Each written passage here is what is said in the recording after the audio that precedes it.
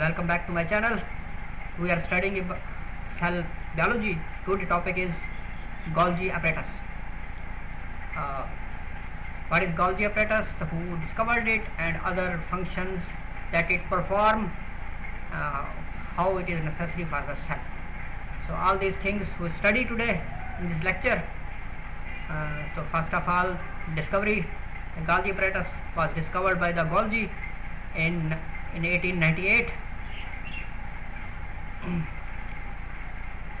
these are the structure. The, these are the stalks of flattened membranes bounded by sacs.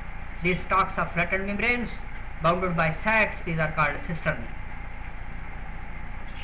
These cisternae, these these consist of the Golgi apparatus consist of interconnected uh, interconnected tubules.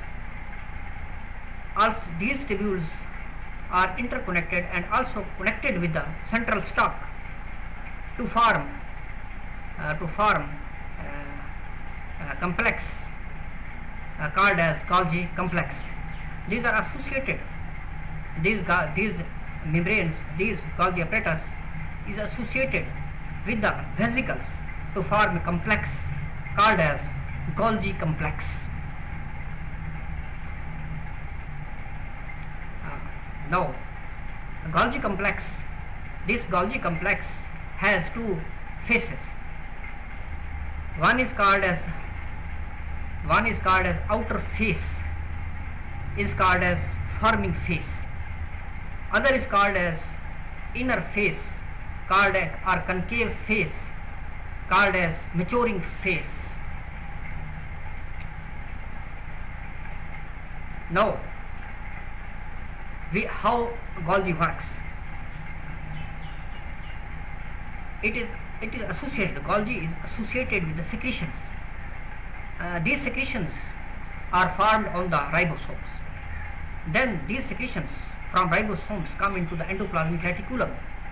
From from there, uh, from endoplasmic reticulum, these secretions are come into the Golgi, where these are packed into the final product.